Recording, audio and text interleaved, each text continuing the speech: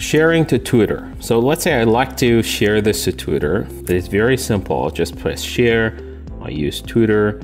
I can uh, add information about it. I can add hashtag. And once I'm ready, I just press tweet and it automatically gets posted to my Twitter account.